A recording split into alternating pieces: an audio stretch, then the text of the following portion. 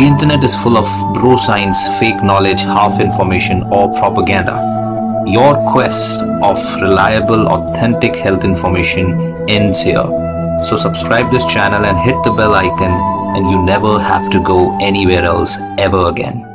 So, stomach ulcer peptic ulcer acid peptic disease और बहुत सारे नामों से जाने जाने वाली ये खतरनाक बीमारी आपको भी हो सकती है आपके घर में, आपके बगल वाले, किसी को, आपके माता पिता भाई बहन राइट उनको ये हो सकता है।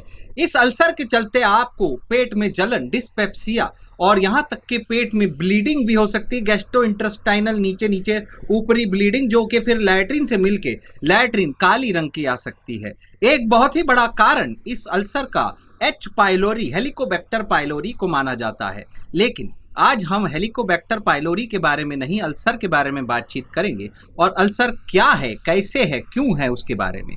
सो so, जब भी आपकी चमड़ी पे कोई चोट लगती है स्किन पे ऊपरी स्किन पे चोट लगती है तो एक घाव हो जाता है वो घाव फिर भरता है उस घाव पे ना भरे तो छाला हो जाता है। मान लो मान लो कि कभी कोई घाव लग जाए चोट लग जाए और रोज आप उस पर उंगली कर रहे हो रोज आप उस पर खुजली कर रहे हो तो क्या वो भरेगा? नहीं भरेगा। वैसा ही आपके कुछ पेट में अल्सरों का होता है। ये स्किन है, ये तो अच्छी है, इसको खींचो, कुछ भी नहीं होता, मारो, कुछ नहीं होता, लेकिन मुँह के अंदर जो है, वो पतली चमड़ी है, उसे म्यूकस मेम्ब्रेन कहते हैं। यही म्यूकस मेम्ब्रेन आपके मुँह के अंदर जो जो फ़ूड पाइप से लेके, स्टमक से लेके, उसके नीचे सब जगह है। और स्टमक में तो एसिड भी है। ये एसिड छल छलाते हुए आपके इन, इस मुँह के म्यूकस मेम्ब्रेन को जला सकता है, जला के राख नहीं करता, छाले बना सकता है। तो बचता क्यों है? क्योंकि वहाँ म्यूकस है। वहाँ म्यूकस बनता है। ये म्यूकस एसिड को उस मेम्ब्रेन से टच नहीं होने देता, इसलिए आपको बचा लेता है।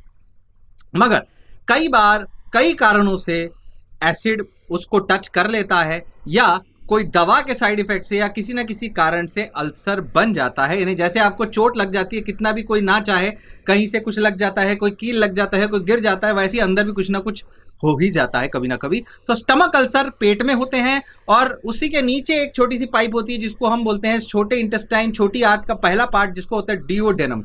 डिओडेनल अल्सर भी होते हैं और ये दोनों मिला के बेसिकली हम बोलते हैं peptic ulcer. Acid peptic disease, जो मर्ज़ी बोल लीजिए, बीमारी एक ही है, पेट में छाले है।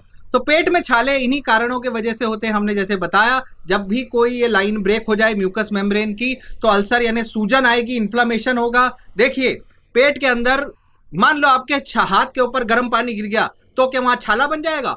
क्या वहाँ गड्ढे बन जाएँगे? नहीं। तो कभी कभी लाल हो जाता है ना सिर्फ़ थोड़ा सा लाल हो जाता है और थोड़ा सा सूजन सी आ जाती है, उसको भी छाला ही बोलेंगे। राइट वैसे ही पेट में भी थोड़ा थोड़ा लाल होकर सूजन भी आ सकती है और एक्चुअल गड्ढे वाले छाले भी हो सकते हैं, जिनमें से खून भर बह सकता है। So there is a different ulcer हो सकता है और इन्फ्लामेशन हो सकता है। इन्फ्लामेशन को गैस्ट्राइटिस बोलते हैं।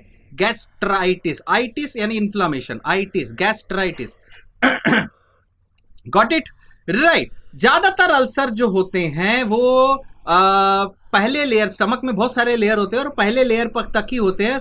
बहुत रेयरली कुछ अल्सर होते हैं जो छेद कर सकते हैं अल्सर आपके स्टमक में आर पार। वो फिर एक इमरजेंसी सिचुएशन आती है। रेयर है रेयर है, लेकिन जिनको सालों से अल्सर रहता है। उनको पता होना चाहिए कि ये भी हो सकता है। इसलिए एकदम से पेट में दर्द हो तो आपको एक्सरे करा के देखना होगा। उसमें फिर गैस अंडर ड्राइफ्राम आता है। फिर वो कई सारी चीज़ें आती हैं जो हमें देखनी होती है। राइट वो अलग चीज़ है। That is a different thing signs and symptoms of intestinal perforation, वो अलग चीज़ है। फिर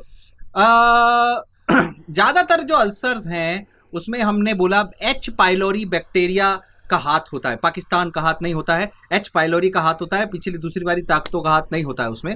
राइट एच पाइलोरी का हाथ होता है। एच पाइलोरी एक बैक्टोरी बैक्टीरिया है, जो ज़्यादातर वैसे तो आपके इंटेस्टाइन में ही रहता है, लेकिन वो ग्रो बहुत ज़्यादा कर जाता है। राइट आपके अंदर ही कहीं ना कहीं रहता है। और मैंने ज़्यादातर लोगों को ये बैक्टीरिया स्टमक में होता है, लेकिन अल्सर नहीं बनाता। जो लोग किन में बनाएगा? गलती किसकी है? राइट दूसरी गलती नहीं, आपकी गलती है। क्या गलती है? आज ज़्यादा दारू पीते हो। कम में कुछ नहीं है। ज़्यादा पीते हो। कभी कभार पीते हो, कुछ नहीं होता। पर कभी कभार एक एक लीटर पीते हो तो गड़बड़ है। ज़्यादा पीते हो दारू। दारू। फिर दारू पीती। फिर regular use pain killers aspirin disprin brufen proxin paracetamol, घपा, घप, मेरे को तो घुटने में, मेरे को तो पीठ में दर्द, मेरे को तो उसके बगैर चलता ही नहीं है तो फिर अल्सर होएँगे होएँगे। और तीसरी चीज़, सिगरेट, बीड़ी, तंबाकू, स्मोकिंग, च्यूइंग, है? सब खराब, अंदर ही अंदर सब, म्यूकस मेम्ब्रेन का म्यूकस कम म्यूकस कम, अल्सर छाले, छाला, म्यूकस मेम्ब्रेन को एसिड लग लग के, लग लग के, लग लग के, क्या करेगा आपका पेट? अल्सर नहीं आएगा तो क्या होगा, बताओ। है कि नहीं? गलती किसकी है? बताओ। और अगर आप वैसी ही कोई दूसरी बीमारी है, मान लो कोई वेंटिलेटर वाली मशीन पे हो ब्रीदिंग तो भी अल्सर्स हो जाते हैं राइट कोई रेडिएशन ली तो भी भाई साहब प्योर सिंपल स्ट्रेस से भी अल्सर होते हैं। रात भर सोए नहीं अल्सर होता ना, रात भर सोए नहीं, मुँह में छाले हो गए जी हाँ होता है। होता है। Stress is a big factor और एक रेयर कंडीशन है इसको बोलते हैं जोलिंगर एलिसन सिंड्रोम वो छोड़ दो रेयर है। उसको कुछ नहीं स्ट्रेस बहुत बड़ा फैक्टर है, आज की दुनिया में। बहुत इंपॉर्टेंट मान लो आपको हो गया अल्सर, क्या होगा आपको? आपको अल्सर होगा, अल्सर के अंदर पेट में दर्द होगा। पेट में दर्द होगा, पेट में कभी कभी सूजन आ सकती फूल फूला लग सकता है कभी कभी पेट में ब्लीडिंग हो सकती है। पेन आपके अपर एब्डोमेन में होगा, रात को बढ़ सकता है पेन और कभी कभी एम्प्टी स्टमक में भी हो सकता है पेन कभी खाने के बाद हो सकता है। एम्प्टी स्टमक में होगा या खाने के एक से तीन घंटे बाद होगा। रिमेंबर ये दोनों प्रकार के हो सकते हैं सिम्टम उसके अलावा उल्टी भी आ सकती है नोजिया भी आ सकती है वॉमिटिंग फीट फटीक कभी कभी किसी को पेट में से छाती में भी दर्द होता है अल्सर का। कभी कभी अल्सर का दर्द सर में भी जाता है। जी हाँ होता है। होता है। कई लोग बोलते हैं, पेट में गैस सर पे चढ़ गई है अल्सर का वो भी होता है। अल्सर या चारे गैस की वजह से हो सकता है।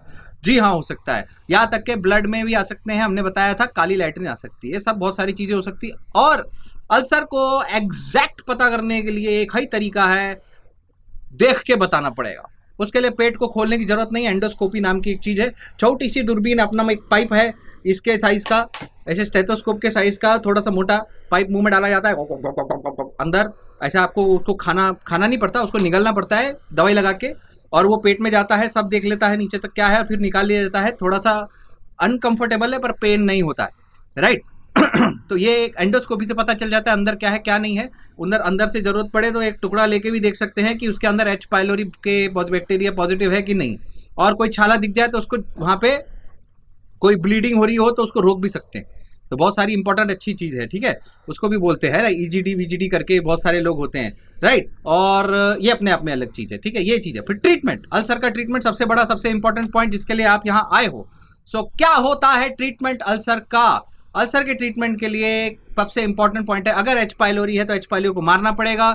अगर आपका एसिड लेवल कम है मतलब एक एक सीबो करके भी बीमारी होती है सीबो और एक होती है एसिड लेवल ज़्यादा एसिड लेवल ज़्यादा है तो फिर प्रोटॉन पप इनिबिटर्स या जो एच टू ब्लॉकर्स हैं, वो दिए जाते हैं राइट right. और ये जो प्रोटॉन पर ज़्यादातर तो पीपीआई दिए जाते हैं पेंटोप्राजोल रमेप्राजोल ओमेप्राजोल इन टाइप की दवाइयाँ आजकल बेसिकली चल रही हैं इसके अलावा डाइजीन और वो जेलोसिल और इनो और पुदीन हरा बहुत सारी ऐसी दवाइयाँ हैं जो मदद कर सकती हैं। लेकिन अल्टीमेटली जब तक आप अपनी आदतें नहीं सुधारोगे सिगरेट बीड़ी, तंबाकू नहीं छोड़ोगे, दारू नहीं छोड़ोगे पेन किलर नहीं छोड़ोगे स्ट्रेस नहीं छोड़ोगे, सही से नहीं, सही से आठ घंटे सोओगे नहीं, सही से पानी नहीं पियोगे, सही से खाना नहीं खाओगे तो गलती आपकी है। सॉरी टू से बट गलती आपकी है। ठीक है? तो इससे कोई ये नहीं है कि हाँ डॉक्टर सही नहीं है और ये सही नहीं है और वो सही नहीं है। इट्स वेरी सिंपल अब नई नई दवाई भी आ गई है पेन अब नया नया आता जाएगा नया नया चीज़ आता जाएगा, लेकिन अल्टीमेटली जब तक कारण नहीं खत्म होता ना, जब तक सुई नहीं निकालते हैं, तब तक वहाँ घाव होता रहेगा। अरे बेड में लेटे हो, सुई चुभ रही है, सर डॉक्टर को जा रहे हैं, सर, कुछ तो चुभ रहा है। राइट डॉक्टर दवाई दिए जा रहे हैं, वो बेड से सुई तो हटाओ। आपके है कि नहीं? So that is the way right right. So so, ये अल्सर है और ऑपरेशन जैसी कोई चीज़ सिर्फ़ और सिर्फ़ तभी लगती है जब अल्सर से ब्लीडिंग हो रही हो या आपको छेद कर दिया गया हो। सो so, ये हुई अल्सर की बात अल्सर से कैसे कैसे होता है। अगर तो एच पाइलोरी है तो फिर एच पाइलोरी के एच पी किट आता है। वो तीन तो दो एंटीबायोटिक और एक एंटासिड का कॉम्बिनेशन है जो जो पंद्रह दिन का कोर्स होता है वो लेना पड़ता है। कभी कभी एक बार कभी कभी दो बार लेना पड़ता है। उससे पंद्रह दिन का कोर्स कर जाने के बाद काफ़ी हद तक चांस होते हैं एच पाइलोरी खत्म हो जाएगा और गारंटीड नहीं होता है। कम हो सकता है कि हो सकता है फिर से ज़रूरत पड़े। रिमेंबर दैट प्रिवेंशन मैं बता चुका हूँ, आपकी गलती कहाँ कहाँ है, उस गलतियों को सुधारिए, उल्टे सीधे काम मत करिए। राइट स्ट्रेस को मैनेज करिए। दस मिनट का योगा, दस मिनट का मेडिटेशन और दस मिनट की एक्सरसाइज करने में कुछ नहीं जाता। मैं अभी करके आऊँ पता ना मत किसी को। ठीक है? और do not smoke do not chew tobacco do not drink excess alcohol right this is the basic ये हुई बात एच पाइलोरी और अल्सर के बारे में। Thank you so much for watching कोई सवाल ज़रूर लिखिए। buddy